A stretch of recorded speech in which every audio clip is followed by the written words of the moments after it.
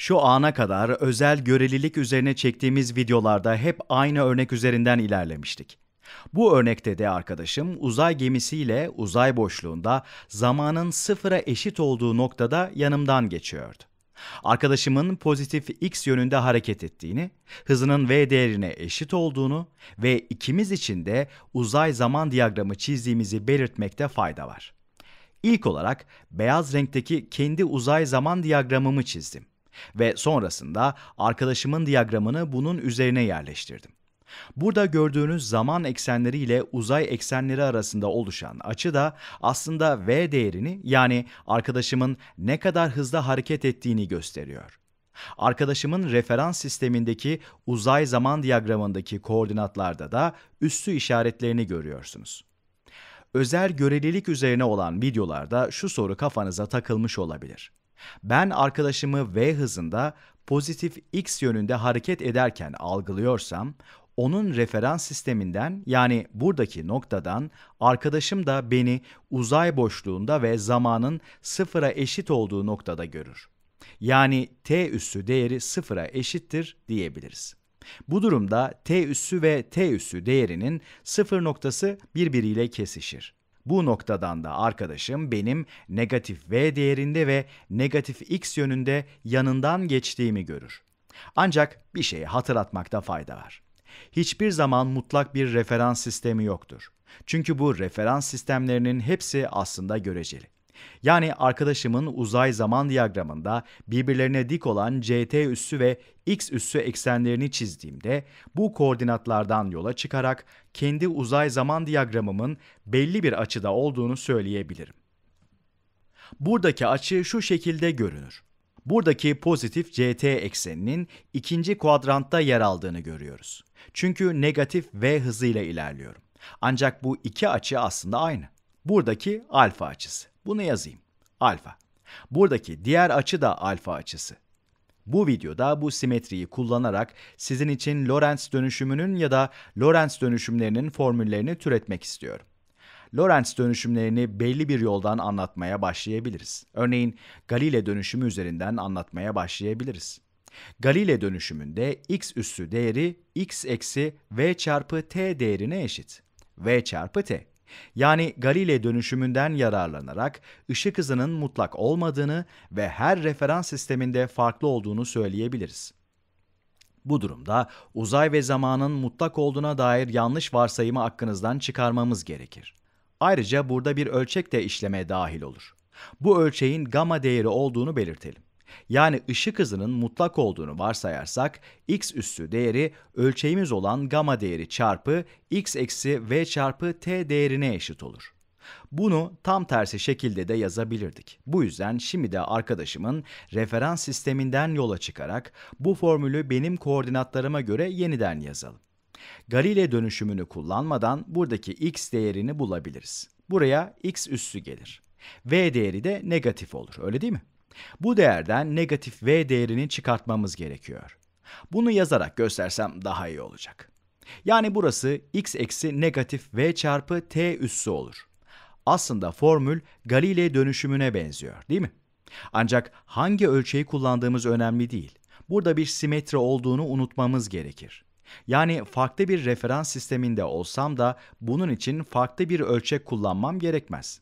Bu durumda ışık hızının mutlak olduğunu varsaydığımızda buradaki ölçeğimiz değişir. Bu formülü farklı bir şekilde de yazabiliriz. Aynı renkte yazsam daha iyi olacak. Yani x değerinin buradaki ölçekle x üssü artı v çarpı t üssü ifadesinin çarpımına eşit olduğunu söyleyebiliriz. Çünkü parantez içindeki eksiler artıya dönüşür. Buradaki ölçeği işlemin dışında tutarsak bunun tırnak işaretiyle gösterilen üssü referans sisteminden benim referans sistemime geçişini ifade eden Galile dönüşümü olduğunu söyleyebiliriz. Peki bu ölçek de nereden geldi? Hangi ölçeği kullanacağımızı nasıl anlayabiliriz? Burada tek yapmamız gereken birkaç basit işlem. Az önce yazdığımı bu tarafa da geçireyim. Yani demin de dediğim gibi x değerinin ölçeğimiz olan gamma çarpı x üssü artı v çarpı t üssü değerine eşit olduğunu söyleyebiliriz. Denklemin her iki tarafında da aynı değişkenlerin olması için yukarıdaki denklemin her iki tarafını da x ile çarpalım. Yani sol tarafı x ile çarptığımızda buradan x çarpı x üssü değerini elde ederiz. x çarpı x üssü. Denklemin sağ tarafını da x ile çarpabilirim. Ancak x burada zaten var. Parantez içindeki x değerini görüyoruz. Bu yüzden iki denklemin sol tarafıyla sağ taraflarını çarpalım. Denklemlerin sağ tarafını çarptığımızda buradan ilk olarak gamanın karesini elde ederiz. Parantez içindeki değer ise biraz uzun olacak. Parantez içinde şöyle bir değer olacak. x çarpı x üssü artı x çarpı v çarpı t üssü. Eksi v çarpı t çarpı x üssü. Son olarak da negatif v çarpı t ile pozitif v çarpı t üssü değerlerinin çarpımını formüle yerleştirelim. Negatif çarpı pozitif negatif olur. Yani burası negatif v kare olur. Şöyle yazalım. Eksi v kare çarpı t çarpı t üssü. Parantezi kapatabiliriz. Peki bu uzun işlemden yola çıkarak gamma değerini nasıl bulabiliriz? Burada daha önce özel görelilikle ilgili belirttiğimiz varsayımlardan birini hatırlamamızda fayda var. Daha öncesinde ışık hızının mutlak olduğunu kabul etmiştik. Bu durumda ışık hızının her referans sisteminde aynı olacağını söyleyebiliriz. Bunun için de başlangıç noktasından geçen bir ışık demeti olduğunu varsayalım. Yani zaman ve t üssü değerinin sıfır olduğu noktada fenerimi yaktığımı ve ışığın da burada bir noktaya çarptığını düşünelim. Burada gerçekleşen olay da birbirine ışık demeti yani fotonlarla bağlı olsun. Bu iki olayı birbirine bağlayalım. Neler yaptığımızı bir daha hatırlayalım. Bu doğru, fenerden yayılan fotonun gelecekteki belli noktadaki ve zamandaki konumunu ifade ediyor. Bu ışın bir noktaya çarparak bir tepkimeye sebep olabilir. Ancak bu detay pek de önemli değil. Şu an burada gerçekleşen olaya odaklanalım. Referans sisteminde gerçekleşen bu olayın koordinatları x ve ct koordinatları. Işık hızının mutlak olduğunu ve diyagramların nasıl çizildiğini bildiğimize göre herhangi bir ışığın 45 derecelik veya eksi 45 derecelik bir açıda olduğunu söyleyebiliriz.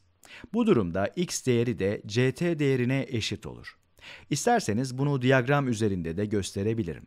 Sanırım bunu çizsem iyi olacak. Buradaki açı bu şekilde görünür. Demin de dediğim gibi x ve ct değerleri aynı. Peki diyagramın bu halini nasıl yorumlayabiliriz? x koordinatına ulaşmak için ct eksenine paralel bir doğru çizmemiz gerekir. Böylece bu diyagramdaki x koordinatını bulmuş olduk. Aynı şekilde ct koordinatını bulmak için de x eksenine paralel bir doğru çizmemiz gerekir. Ancak burada da x değerinin ct değerine eşit olduğunu unutmamalıyız. Çünkü dediğim gibi ışık hızı her referans sisteminde aynı. Bu durumda x üssü değeri de aynı şekilde ct üssü değerine eşit olur. Diğer diyagramda da x üssü ve ct üssü değerinin aynı olduğunu söyleyebiliriz. Çünkü buradaki ışık da 45 derecelik açıda yer alır. Bu yüzden x üssü değeri ct üssü değerine eşit olur. Bu ikisinin ışıkla ilgili durumlarla birbirine bağlı olduğunu söyleyebiliriz. Yani x değerindeki değişikliği zamandaki değişikliğe böldüğümüzde ışık hızının kaç olduğunu bulabiliriz. Bu durumda gamma değerini tüm dönüşümler için kullanabildiğimize göre bu olay için de gamma değerinden yararlanabiliriz. Yani bu bilgiyi kullanıp değerlerini yerine yazarak gamma değerinin ne olduğunu bulabiliriz. Bir sonraki videoda bunun nasıl yapıldığını göstereceğim. Ancak bir sonraki videoyu izlemeden önce bunu kendi başınıza denemenizi özellikle tavsiye ederim.